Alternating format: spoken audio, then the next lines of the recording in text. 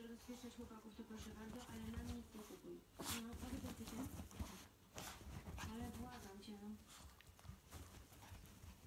A ty sobie pomysł. Mhm.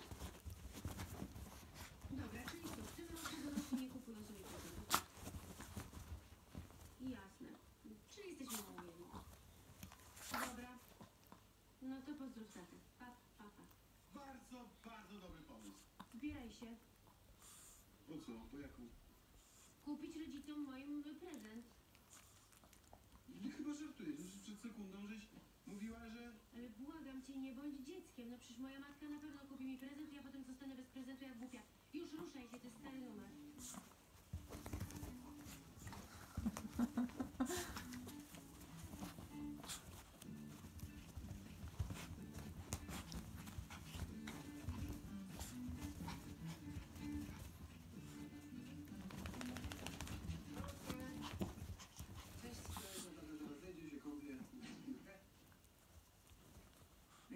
Taki elegancki? O ja idę na śledzika do klienta strategicznego.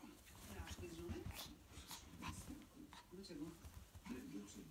Nie wiem, tam zawsze się nudzi. Nie śmieje się, wiesz, z branżowych dowcipów.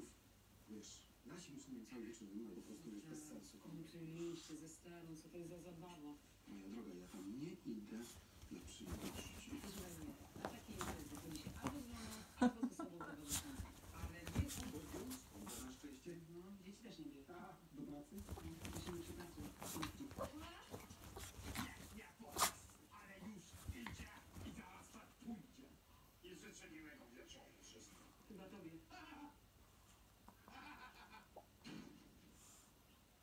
Debbie, jesteś nienormalna. Wypuszczasz nam takie branżowe śledziki? Wiesz, co tam się dzieje? Co?